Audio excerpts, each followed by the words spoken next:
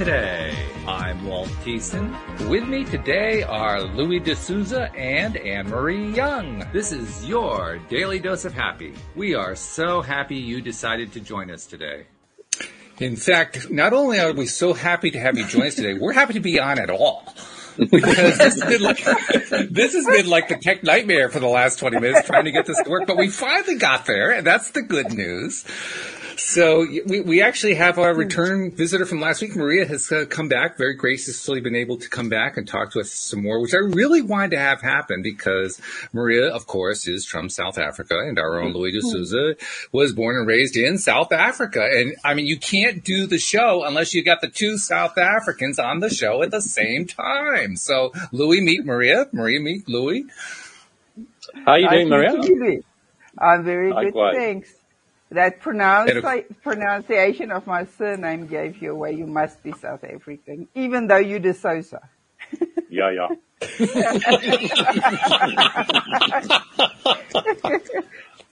South African De Souza.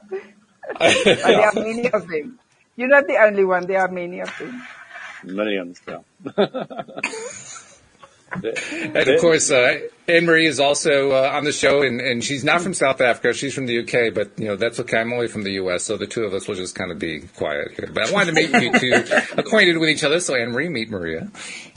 Maria, lovely to meet you. you too. Maria, obviously, they weren't able to join us last week and talk about uh, what we were talking about. Um, I don't want to obviously replay the whole show, but just can you give them like a very, very, very, very, very brief view of the life of Maria, particularly in the last few years, that, what you've been doing to, because we, we, we went through kind of the crash and burn stage, but then we talked a bit about how you've been coming out. Talk about a little bit about how you've been coming out. Uh, what I've been doing is when I lost everything, I decided they said robots going to take our jobs. And I have always been interested in trading. So I decided to see how I can use trading and robots together to make us passive income.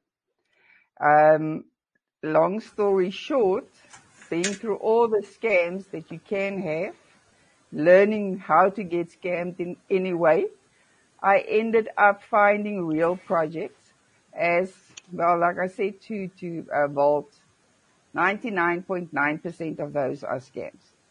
So at least I started finding the real one after doing DD. I watched them for a while, then I test them myself. I don't market them at all. And then, um, I always, I was always looking for 100% passive. That's what, that was what makes it really difficult because you don't find 100% passive. When somebody tells you something is 100% passive, you're already wary. But I've started finding them and I'm now testing most of them, and some of them I've been testing for a year, two years. So I'm in a very lucky place to have found them. And I just decided the day that I do find them, I will help other people who needs passive income as well. I told uh, Walt I've got this funny combination. I always wanted to be an artist since before I went to school. And so life happened and I never did it. So I decided second half of my life, I want to be a full-time artist, market online, earn passive income with robots and trading and travel. And while I do that, I'll help people that cross my way. Which is an, cool. a laudable um, ambition, to say the least. By the way, there's something, Maria, I got to tell you. We, we did a lot of talking last week about the various scams that you've encountered. And of course, in true law of attraction fashion, the following day I found myself busting two scams that came my way. So I just had to tell you, the law of attraction is playing. It is doing a very, very good job. Uh, one came online, one came offline. Stop talking about them. I'm telling you. I mean. and the best part is one came online, one came offline, and they came within five minutes of each other. I mean, I just thought it was really, really wild. So, yeah. So we're going to stop talking about scams for the rest of the show today. so let's just talk about a million pounds then, please. oh, all right, all right, all right. I think they are hearing us, Walt. They are hearing us, and then all everything works together to come to us. It does. It really does. Algorithms, yeah. algorithms, law of attraction, everything. So Maria, is jy Afrikaans of Engels? Nee, met daai naam en van kan ek nie iets anders wees as Afrikaans, dis waar. ja, baie baie is 'n is 'n mix, ja. Ja, ja, want ek eintlik het ek Sotho gepraat voor ek Afrikaans gepraat het. Sotho, seker. Yes. Wow. En het ek leer Swazi en Zulu praat. Ah, So eintlik eintlik is ek 'n Sotho, ek is nie Afrikaans nie. regtig, ek glo dit nie. En jy en jy hoor mos hoe lekker brei ek? Jy hoor mos hoe brei ek in Afrikaans? ja. Mm. now, the unashamed, I bet you have no clue what we now say. No, Well, said we were going to just listen to you, but I didn't expect not to understand it. I, I just I just said to Maria that they're laughing at us. Ah, we were. That was honest. But it was lovely. It was lovely to watch. He, he, wa- he was telling me what you were saying about me before the show started. Oh, goodness. okay. It was nice. It was nice. I believe Yeah, you you. live That's what, hard. that's what he said. Suddenly, I feel like we're in trouble. I don't know why. I know. I feel like I feel like the naughty child. Oh, that was a good one, Maria. Uh, you got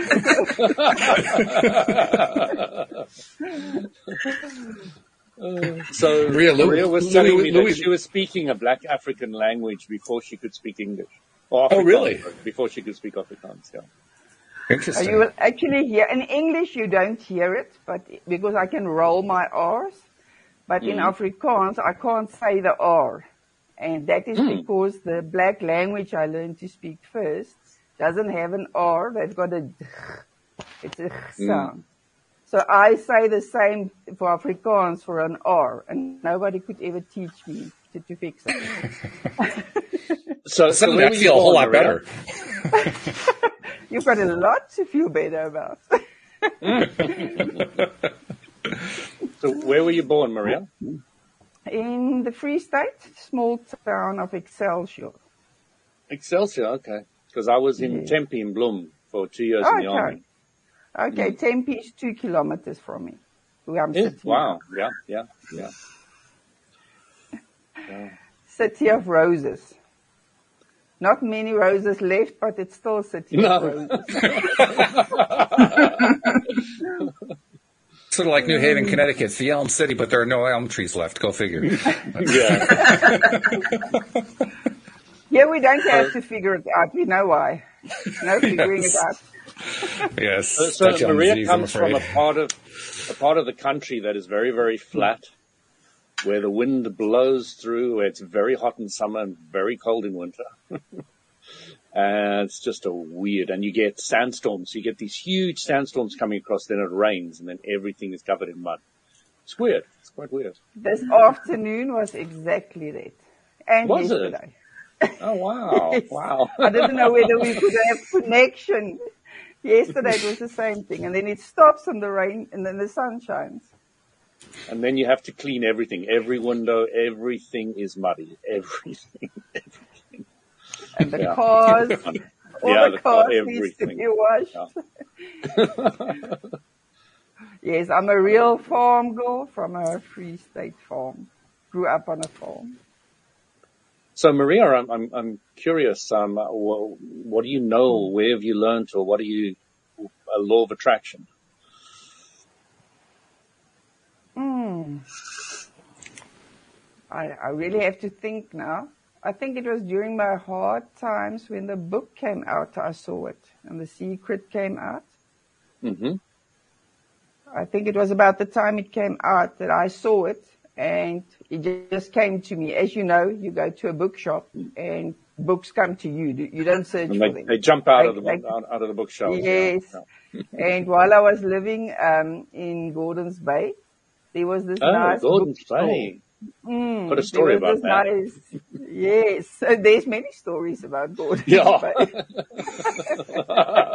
There are. So um, there was this little bookshop who's got all these um, spiritual books and call it weird books for, for small towns. So, Mhm. and it wasn't during that time that I wasn't working. So Mhm. I spent most of my time reading. So what was it about the law of attraction that grabbed you? I'm curious. everybody's kind of got different angles of what, what really drew them to it. For me, it was um, the fact that you could do whatever you want and achieve Uh-huh. whatever you want by just using your mind. hmm whether it's health, wealth, whatever you want, Mhm. relationship, and that you can do it with your mind. Before that, when I was really ill and the uh, pain medication didn't work, they taught me self-hypnosis to control my pain. So Mhm. it kind of flowed out of that, I think, realizing if I can control pain with my mind, hmm and vi- visions and dreaming and imagination, then if you can dream it, you can get it, you can make it. Yeah. hmm That's what Abraham Hicks says, isn't it? If you dream it, you can make it. Yeah. But you can't just dream it. You have to do something as well. It's like praying. You can't just sit and pray. You have to do something. but you have to see it first, think it first, see it 1st Mhm. speak it, and then do something, then it will come to fruition. Not always when we want it, in the, in the time that we want it, but it will. If you just, if you just persist, it will. Cool. Cool. Um, the other question I wanted to ask you was in connection with cryptocurrency. Are, are you crypto mining or what are you doing there? Um, no more trading. Right. Trading, portion hol- holding and uh, holding and a portion trading. hmm But uh, the, the main thing is like most of these things, it's mainly you are learning. Not hmm. really doing any of those. You're just learning. there is mining, but the mining is also, it's most of it is also scams. You have to find the real mining, and at this hmm. stage, it's easier to do staking inside the platforms hmm. rather than mining. It's safer. Yeah. Well, if you can call crypto safe, I mean, most people won't call crypto safe in the first place. I I don't often hear those two words in the same sentence, so I understand that. Yes. But if Gambling you is are, if you word are I've inside already, um, I see forex more as gambling. I've started with forex. hmm Um, but you can do, what I like about crypto is that someone can really start with 10 or 50 dollars. And if they, if you've got the right system, like most things, internet marketing, summits, um, trading, whatever it is, if you have the right systems and the right person to follow, hmm you're going to get there. Then you must just learn and persist and do it and practice it. I actually have a very nice system. It's called iCoin Pro, which is a micro profit system that teaches people to make small micro profits. And they've got people mm-hmm. that were waiters and really they started with 10 and 50 dollars. Yeah. But yeah. that system teaches them consistently how to make small profits. But that's not about yeah. hodling at all.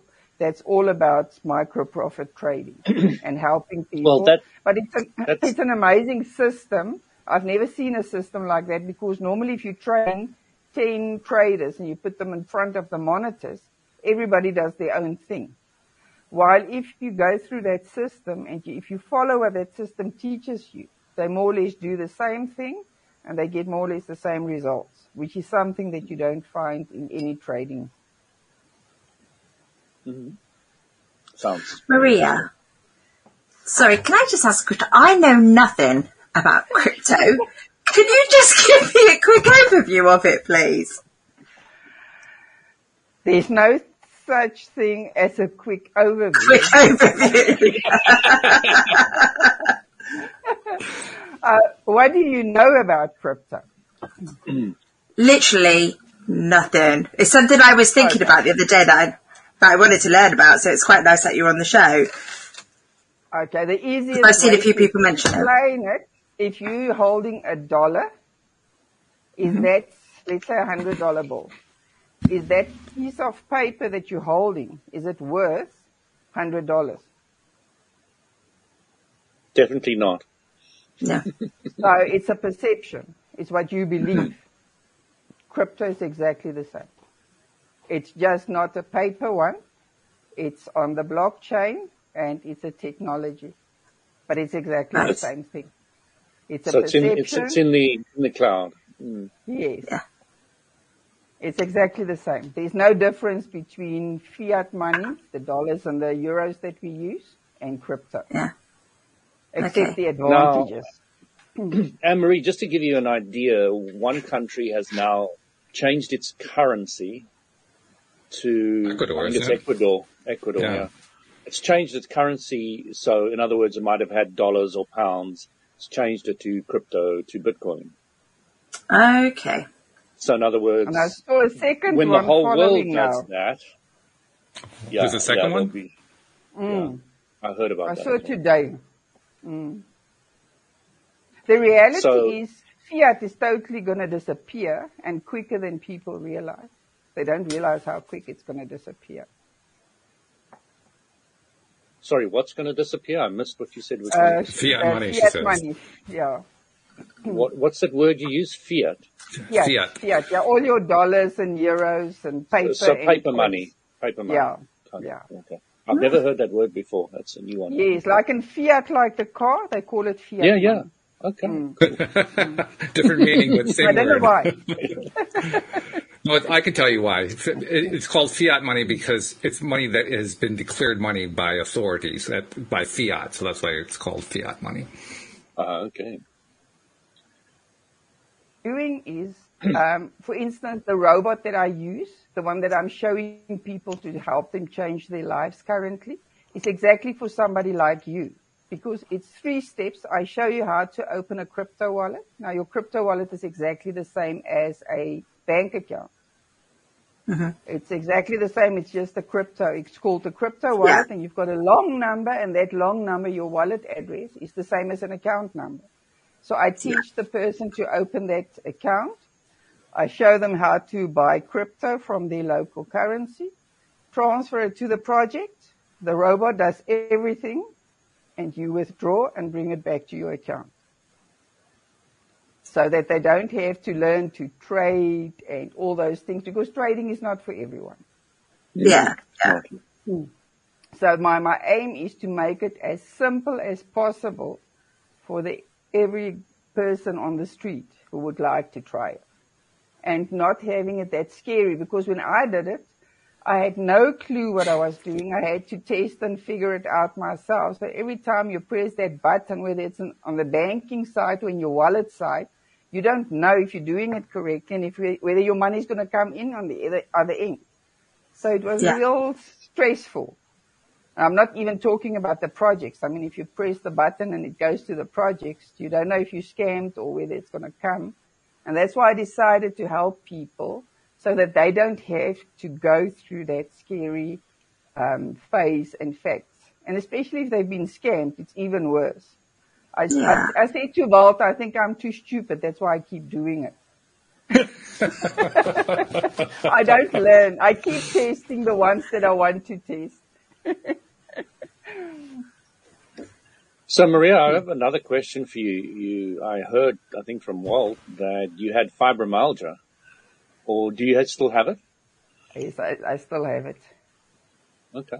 Yes, I've got Oh, fibromyalgia, myofascial pain syndrome, Tietze syndrome, and I've got markers of ankylosing spondylitis in my blood, but I don't think I've got the symptoms.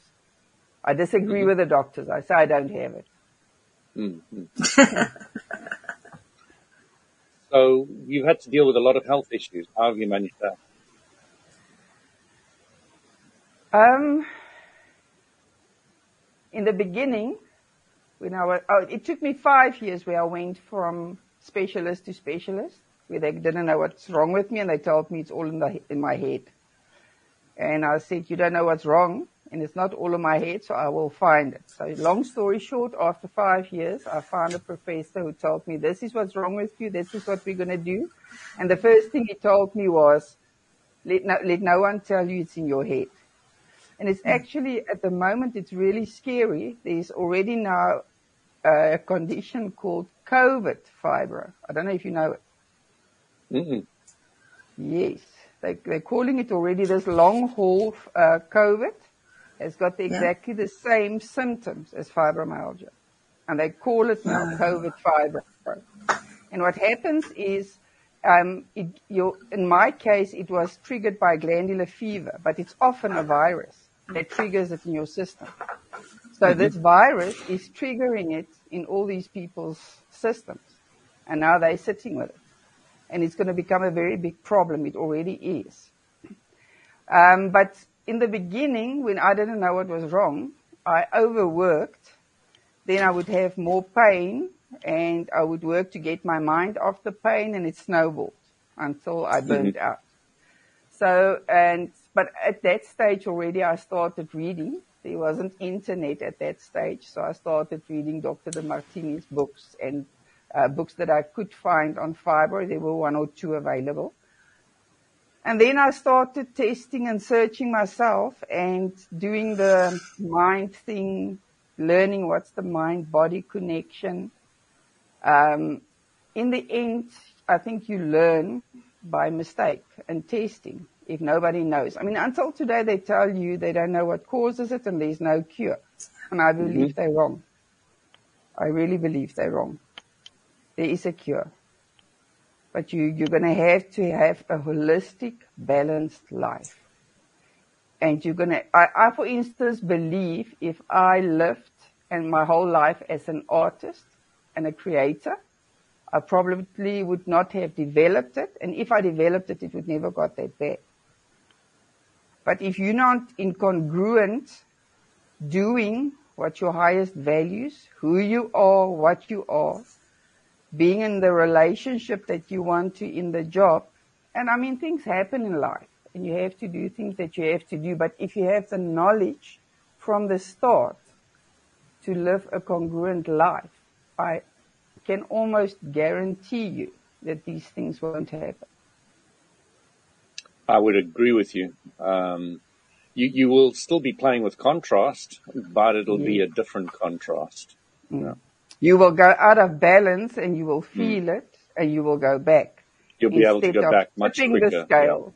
Yeah. Yes. Now I've got to try and see if I can reverse what I've done in 30 years. But mm. I believe I can because in my 20s and 30s, I worked in macadamia factories. I designed macadamia factories and managed and trained people. Mm-hmm. And during that time I when I burned out, love them. Mm. They are they. Um, during that time, I've overworked and I totally burned out. So if I would, on a scale, look at how much better I am than at that time, I would say I'm a thousand percent better. But I'm still not in a good state. So mm-hmm. I believe, um, I believe I'm gonna, I'm gonna change it. But like I said to Walt, what happened to me every time I wanted to, after I've lost everything, and I got a job again. Every time I want to do something about my health, I got stuck. I don't have enough US dollars. I don't have US dollars. And it wasn't rent. It kept pushing me to I don't have enough USD. Doesn't matter what I wanted to do. All the list of things I want to do is on my computer. But if I want to do it, it's US dollars. And it's only 100 and only 500 and only 1,500. And sometimes it's an, it's your annual pay. So mm-hmm. I decided, okay, this is what I want to do. I want to be a full-time artist. I want to earn passively with trading and robots and stuff. I want to travel the world. I want to heal myself, but the dollars is stopping me. Mm-hmm. So I mm-hmm. decided to start by finding a way to make dollars. I mean, the people around me at that stage, I told them I just want one dollar. And they couldn't understand. They said, what do you want to do with one dollar? I said, if I know how to earn one dollar from where I am, I can earn mm. more. And that's how it started. But like I say, it's been scams and these algorithms bringing them to me. And I think it was part of the bigger picture, having to learn how they all work. Mm-hmm. And they will still catch us. It's not going to stop. I mean, they evolve all the time and they become very sophisticated. So they can still catch me can still happen, yeah. even if you know so much. So where are you living now? I'm curious. I'm in Bloemfontein. Oh, you're in Bloem. Like I say, yeah, two two kilometers from Tempe, literally near the university. So where I learned to gun drive and command a tank, she lives two k's away. I've done the same, but not at Tempe. I did it there. Yeah, yeah. when I was at school still. Are, are you near the Brug anywhere? No, no. But I, I did that at the Brug when I was in grade standard six, which, which we called standard six. You remember we Mm. had to go I to remember standard six to ten. Yeah. we did those Yeah. camps, so I there I also learned to do what you were doing, Ah. but not at the scale that you did it at Tempe. Yeah, yeah, of course. But Felt, just a school, week. yeah. No, that's not Feld School. That No, was cadets or something. Ah, Okay. Yeah, Feld School was something else. But that Yeah, I loved. I've been I've been a real tomboy since I was a small small child. So I loved Feld School.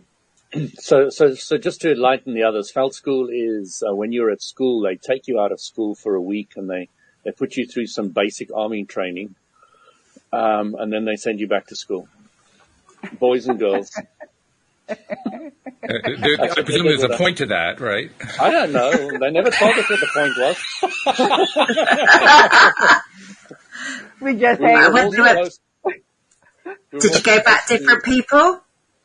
we were all supposed to um, defend ourselves against the the enemy, I suppose. Ah. did, did they ever figure out who that was? yes, they they were the communists. So we Oh, the did communists. quite Yeah. well, Louis. So I forgot about the communists. yeah, they were the big enemy coming down from the north of Africa. Yeah. yes. And now we are the now we are the communists. Now we are the communists. So now we will have to fight ourselves. we lost. We lost. Oh, it's complicated for anybody to understand South Africa who hasn't been there. It's really complicated. but very interesting. Oh yeah, fascinating. Very diverse. yeah. I kept thinking when she was telling me her story last week, Louis, uh, about her health issues in particular, how you had also been through health issues and, and learning your own way through asking the same kinds of questions that she was asking and so forth. I thought, wow, you know, that, that would be a conversation there somewhere in there because you guys have both traveled really remarkable trails. Um, le- let me give uh, Maria a little bit of an overview. So I was uh, a sick kid uh, and I had asthma, but they kept on feeding me antibiotics and not a inhaler for some reason or other. But um, I was pumped with antibiotics as a kid, and I remember how bad it was when one day uh, in the morning my sister uh, slept in the bed in the same room as me, and and I was doing this all night. I was going.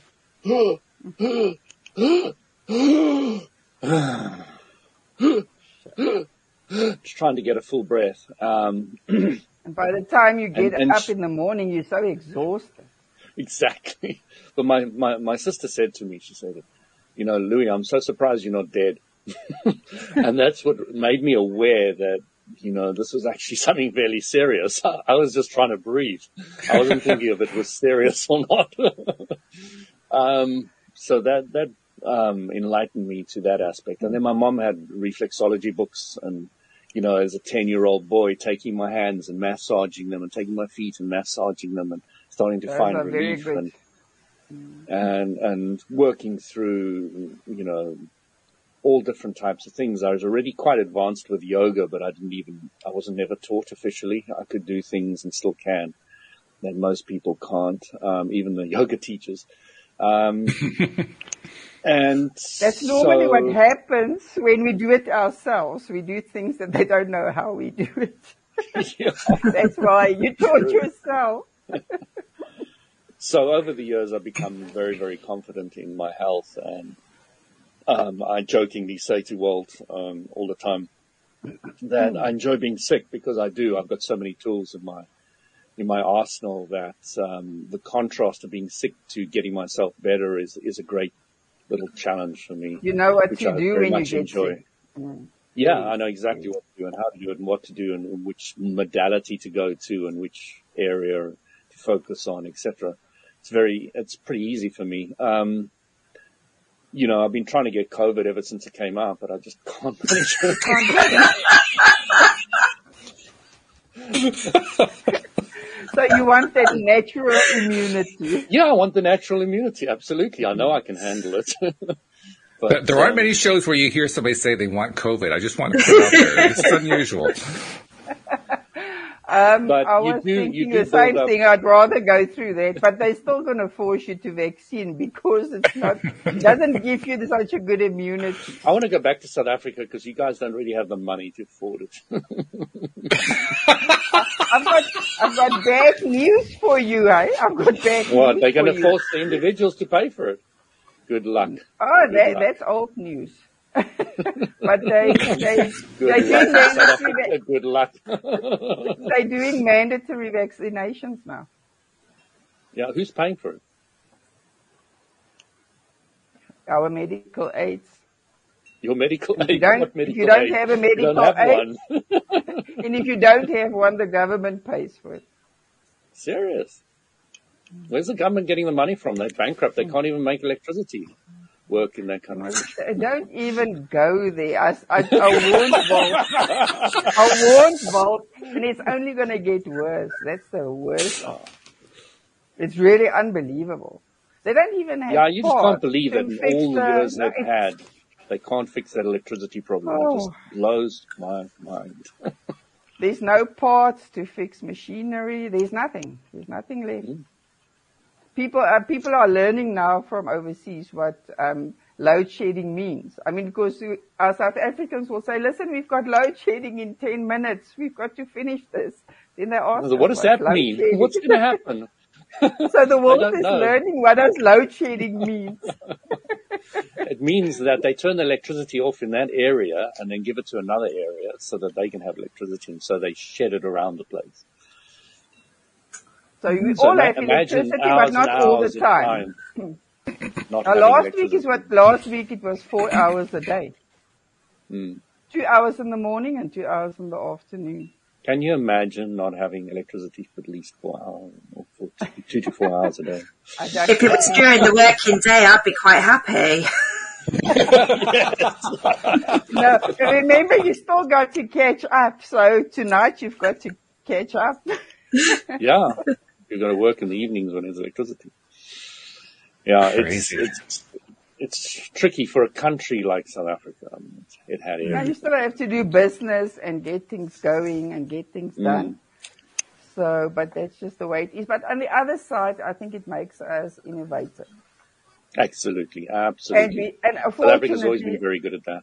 All the yeah, sanctions, etc., made unfortunately us we have a very good sense of humor.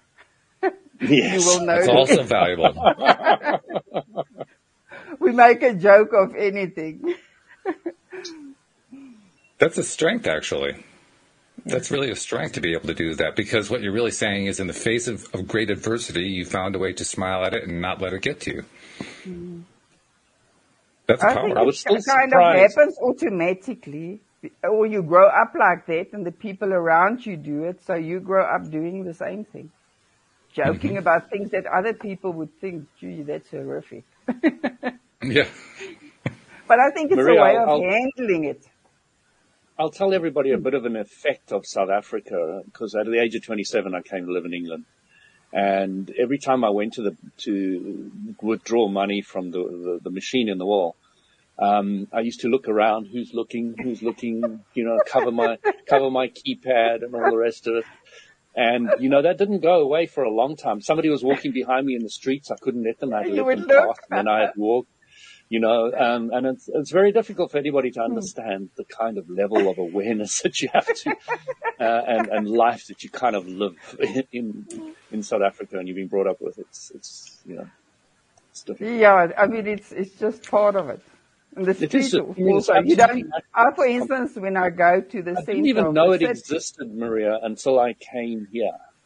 And then I saw you know where contrast. I realized it? Nobody else I is re- looking at who's, when they were drawing money. when I was Nobody else is bothered if they were, somebody's walking behind somebody. I was on my way to Australia via Singapore. And mm-hmm. that night at 11 o'clock, I was walking around in little China or somewhere. And it was the weirdest feeling I could feel. I had no reason to look behind me. I felt safe with no reason. I was a woman walking around 11 o'clock at night. Mm. And, and that, that actually made me realize, but the, but the funny thing was I was at one of these temples. Now I wear a size 8 shoe and I was wearing these white cream boots. They looked like ships. and I took them off when I went into the temple and put them next to the others.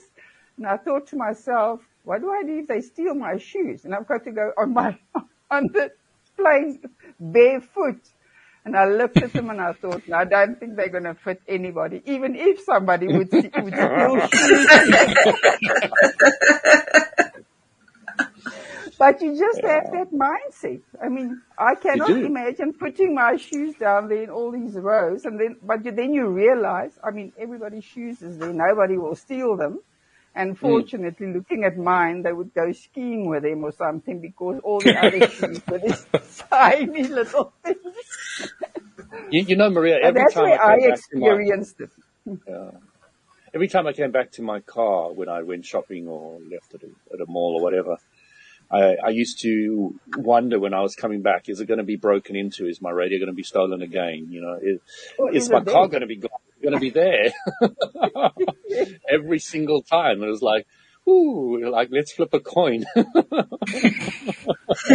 it, it, it's very sad, like you when you move, to get out of that, you realize under how much stress exactly. you live without even realizing. Being aware of it, completely unaware of it. Yeah. You live under that stress constantly. I mean, and in my in my house, in my area, for your health. Yeah, exactly. Uh, an underlying. Yeah. Um, but if you start living with source energy and realizing that everything's on loan mm.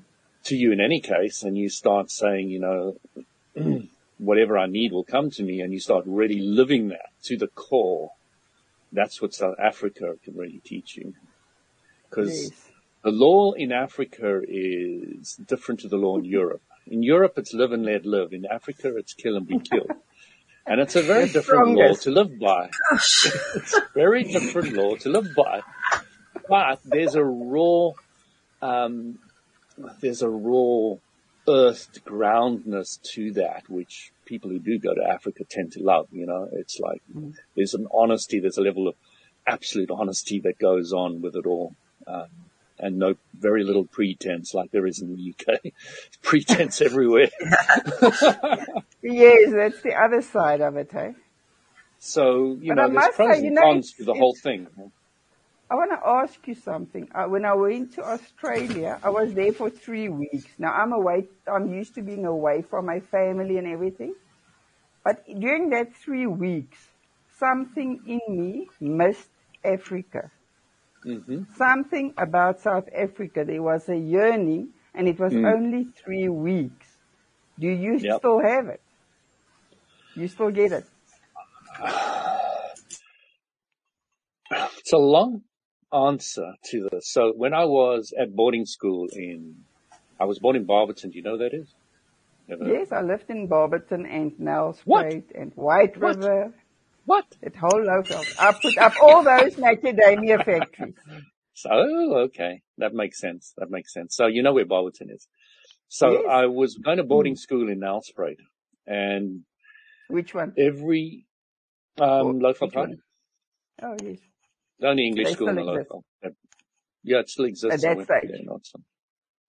At yeah, so it was, it was a white school, a white English school at that stage. It was the only white English school in the whole area by mile, you know, forever.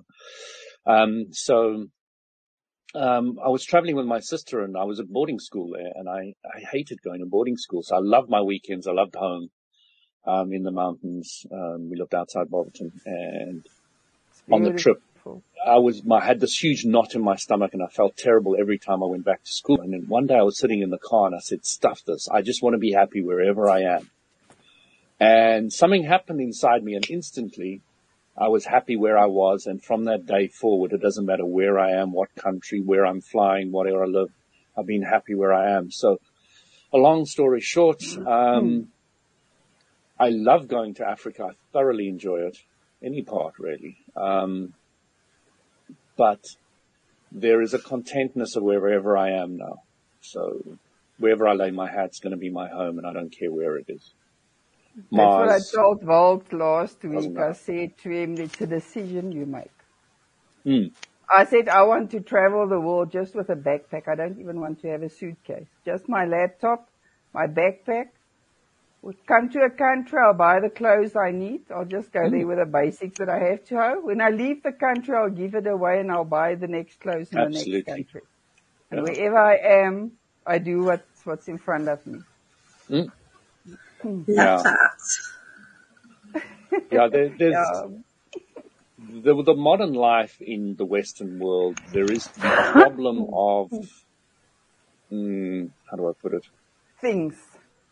Laziness and boredom and, and, you know, just being too content where you're at, you know, not even content. There's actually a level of discontentment with it, the whole thing. So, you know, we were, I, I always like finding ways of, of putting myself on the edge, you know, even if it's in driving my electric scooter and in, in the streets or doing anything that I, your scooter. Yeah, Go to India with your scooter. um, you know, just, just doing anything that's dangerous, walking barefoot all the time, you know, as much as I can, Uh, temperature wise. so you're going to come fire walking with me. Oh, that's easy. That's nothing. else. You've done it. Walk in the park. I'm glad to hear I've found a partner who wants to jump out of planes and walk barefoot on Oh yeah, and- I've done all that. Scuba oh, diving, Oh, nice. skydiving. Oh, oh, I've, I've done a lot of the ticks on my bucket list already. No, I still have too many I want to do. I just, I'm just waiting for my child to be out of school. I said to Volt, when she's out of school, then I can start jumping out of planes and off cliffs and stuff again. Doesn't matter if you're dead later on after she's out of school. Yeah, as, as long as she's Yeah. sorted. I, have you seen Have you seen those squirrel shoots, uh, uh, suits that they jump with now? It's like flying. Yes. Yes. I want Yes, to yes, yes. That's on my. Yeah. That's high on my list. that on the one. bucket list. That's high on Very the high on the bucket too, list. I think I think Uh. that's the closest that we ever going to come to feel what it's like to fly. So you want to jump out of a helicopter, ski down a hill until you get to a steep cliff where you go onto the uh, uh, onto this, this use the suit and then you hit the parachute and then you land. Yeah. That sounds nice. Yeah. Maria, you need to be in the next James Bond. not, not playing That's the queen. awesome. I, I, t- I told my daughter, I think I'm going to be the first grandma who's going to roller skate in the old age home. Not that I think I'm going to get to the old age home, but Grab the electric scooter. It's a little easier. no, that sounds boring. No, no. You have to fall a few times. Believe That's me, a you cool can fall on meme the today. electric scooters. I saw a cool meme today. It was a 95 year old German woman who was a gymnast. And she was doing gymnastics in this video. It was fabulous to watch. She was, she's in great health, great shape. Yeah. So why not? Um, roller skating seems calm by comparison. So I watched them. There's that one, and there's another one who's a ballerina at 96 or something, or hun- there's Wow. another one of 100 and something. I said, Ah. "We- I just need to start my yoga again, otherwise I'm not going to get there. it's important to do yoga if you want to get there. no, but it's Uh, well, I- interesting. Hmm? Yes, Anne-Marie? I was, I was just going to say I did roller skating last year. I got my roller skates out and my neighbours started moving their cars out the street.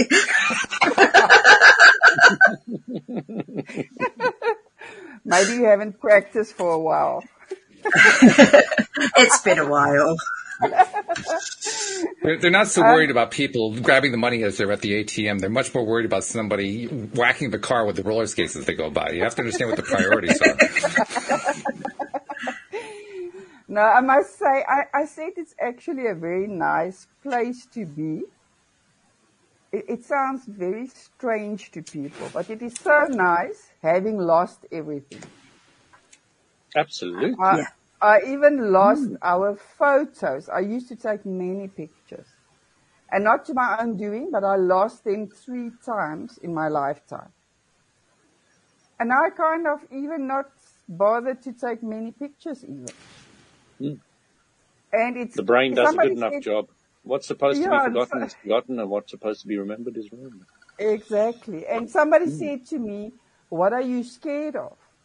And I said, there's only one thing that I'm scared of, that I wouldn't be able to handle. But I mean, if I'm there, I'll have to handle it. I can't imagine my daughter disappear. And I don't know where she is, and she's one of these prostitution houses or something. But other than that, anything can come your way. So you don't stress about small things if you lose your photos again, you've done it. You've done it before, so it's just another one, and you learn from it. This this is You a know- fascinating conversation to hear the two of you talking because you're both talking from a perspective of having lived in South Africa and of of coming out of that experience with a perception of life that basically says, "Well, after that, hey, this is easy." that's really that's really what it sounds like. You know, after you after you've been through all that craziness, the rest of it just seems easy by comparison. Is what it sounds like. But Walt, there's people in your backyard that go through crazy. Oh, I'm sure that's true. I'm just I'm describing what Yeah. I'm hearing from you two. Yeah. Mm. Oh, there's lots of crazy around here. I live in the U.S. I mean, come on. you think I don't know what's going on? Come on. The other thing I experienced when I was about, let's say, 30 was when I was that ill. And at that time, that professor that treated me, I said to him, I don't want cars. I don't want fancy houses. I just want my health. That's all I want. Don't want money, nothing. When you haven't got it, don't that want is it. Things. Yeah. Yes, I don't want things. And he said to me, you reach at 30 a level that some people never reach, but most people only reach when they're 60 to 80. So I don't have any attachment to things. I give things away all the time. If I don't, don't use something, I give it away or I throw it away if I can't Mhm. give it away Absolutely. and I've got no attachment to whether it's clothes or things around me. It's only the dog, you the do have cats, one the attachment. family, and my daughter. Yeah. They will always be. My daughter is definitely. And I, I can't, I can't put the cat and dog aside because they, they like children. Mm. well, there is actually one other connection we all have. It's that internal connection. But that one I don't think ever goes away. Yeah, that's always there. We're very good at hiding it from ourselves. I, I have I spent years doing that. We think And in the process of doing that. Well, I did it pretty successfully. I didn't know it was there.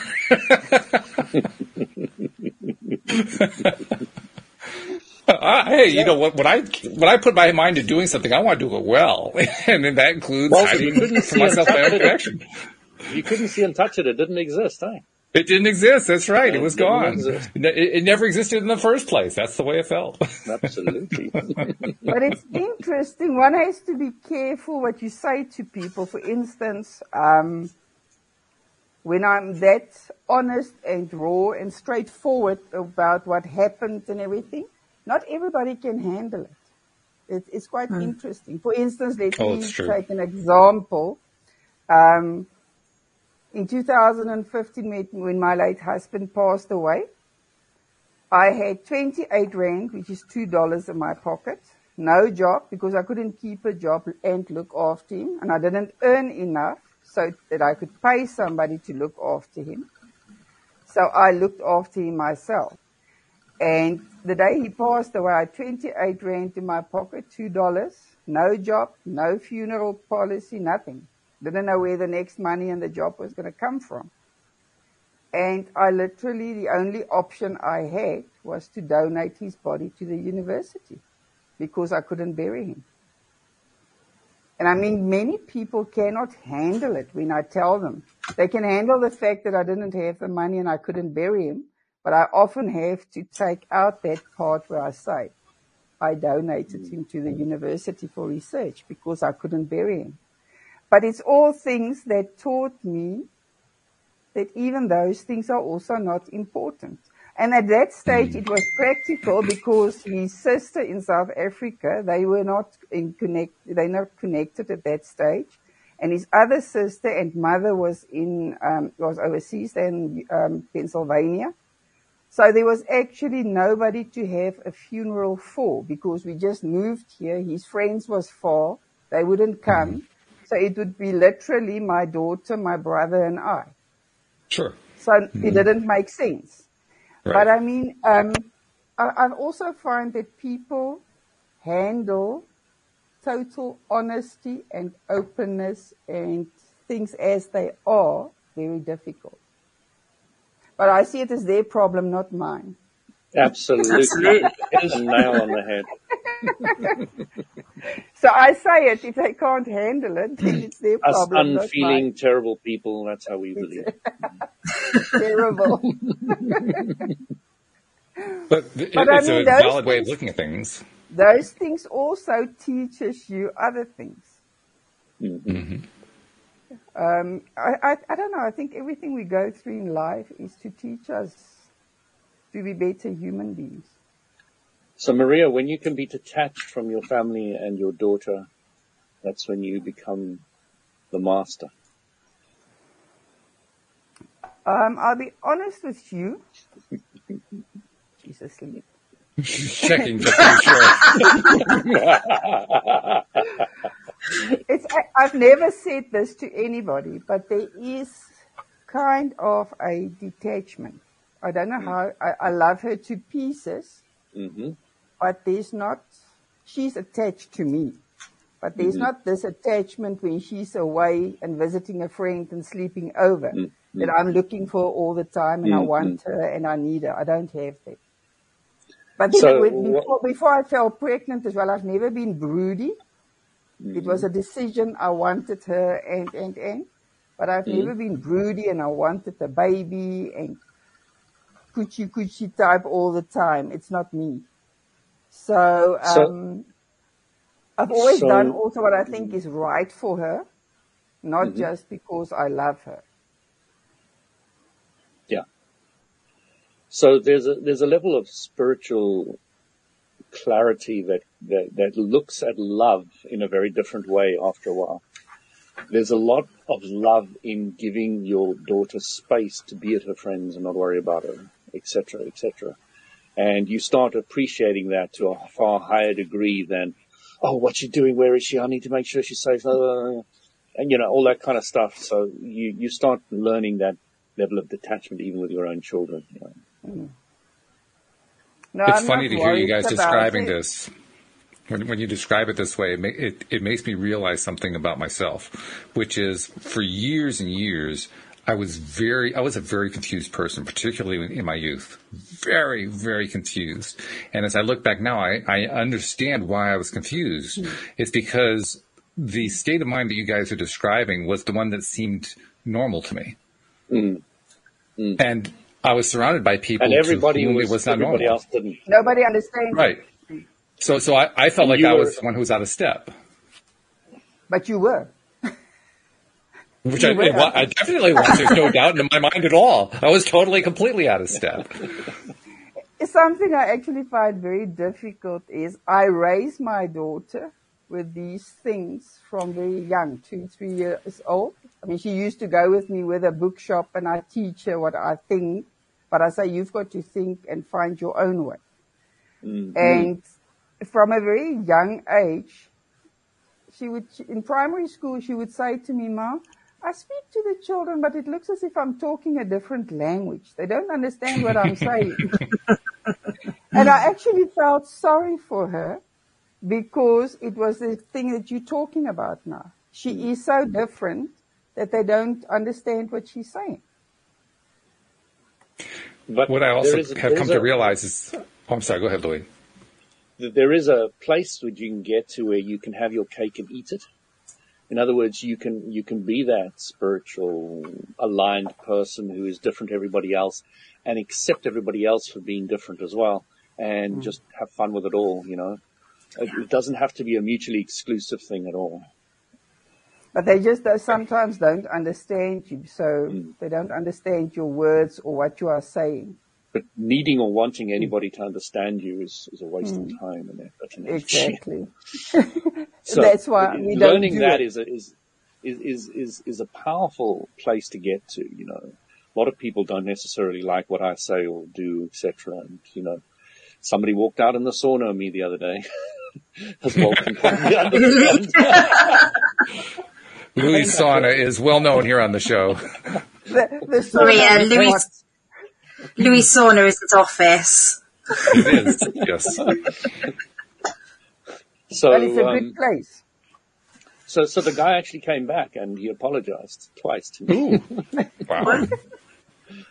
Which was very interesting because I didn't have any feeling towards it. You know, if somebody gets angry with me, it's their business. And you didn't expect him to apologize. I, I didn't expect. It, I had no it idea. Was. yes. Um, I, I, can explain the whole thing, but it'll take a while. I was thinking we'd do it in one of the other shows, but, um, there, there, was another guy I was chatting to there and we were having such a good conversation, really good. And I can explain what I mean by good later, but, um, that he went to the middle step on the, on, on the sauna and I went to the middle step and then we both landed up on the floor to continue our chat. so we were on the floor of the sauna. so we could last longer before we had to leave. And then I was telling two other girls about this and then they were chatting to me and they loved it as well. So much that we both, all three of us landed up on the floor. but, um, yeah, no, it's, it's, it's really fun when, when you can get a lot of people together and share ideas and have fun like that. It's, it's and just, just allow people to be who they are. Not exactly. trying to force what you think exactly. onto them and giving exactly. you your opinion and telling mm-hmm. them your opinion, but just listening. Yeah. And watching yeah. them and their reactions. But, but not only, and, and, giving my own opinion as well, but not expecting them or needing them or wanting them to believe or agree with it at all. Yeah. Quite happy yes. to share. Yeah. There's, there's an interesting uh, phenomenon that I've been noticing in my life. Uh, I don't go to a sauna, so I can't really tie it in that way. But um, I, the, the phenomenon that I notice, and maybe it's because I do a podcast, but it's it's also because I think this is just the way things are going. The the viewpoint we've been describing here, this live and live, live and let live. This, you know, I'm not going to be worried about how you're reacting kind of attitude. Yes, it was completely foreign to the way things were when I was growing up. Today, people, when I encounter people who I would normally have assumed would not be willing to pay attention to it or give any credence to it or accept it in any way, they're listening. They're mm-hmm. listening to it now. They're paying, and, and they're they're demonstrating. I don't even have to be talking to them. I could be, you know, seeing seeing them in a park or seeing something on television or whatever people are all of a sudden opening up to it in ways that when I was, you know, in my twenties, I would have thought was impossible. And now it's just kind of happening. So I, I, have this feeling that deep down, everybody really wants what it is that we're talking about, but mm. we hmm. have not allowed ourselves to trust that we can actually have it, that we won't get shot down by somebody if we try to espouse it. And, and as that, that, um, pattern continues to unravel and to un- unroll, so to speak, I think we're going to see more and more of it. More and more people are going to say, yes, that's for me. Yes, that's what I want. Yes, that's what I like. But there is that awakening because more and more people are connecting as well because of the internet. That helps as well. So people Absolutely. connect all over the world. And there is that awakening. I think everybody is tired of the industrial age and things and speed and unhappiness. Everybody's looking for real and authentic and what is instead of mm. what's supposed to be and having this image of things. And isn't that a lovely thing? This has been a great visit, Maria. Thank you so much for coming back again. I'm really glad to see you and Louis going at it like that. That was great. I mean, I, I, I don't think guys. you found more than three things to disagree on. It was crazy, but I loved it. we will find something. We have to disagree Absolutely. on something. You just have to come to enough episodes. That's all. You know, eventually you'll find something. You know. Hold on, I make my own. Oh, My send eie me biltong is in die huis. I just bought some when I went Yes, to I London yesterday. grew up on a Actually, I was in farm, so- London. I was London watching the Lion King um, musical, and I've never seen London so busy. Literally, this, the whole Oxford Street was absolutely jammed.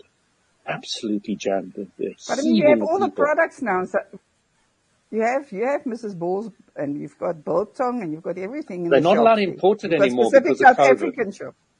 Oh, because Yeah, of no, I went to COVID. a South African shop and suddenly he was saying they're not allowed to import all the stuff. I said, have you got some os- ostrich biltong, which is jerky for you Americans, um, dried meat. Um, Thank you. Which I don't Uh, eat, by the way. I just had to say. and, and they said they couldn't import, they couldn't import the ostrich biltong, but yeah.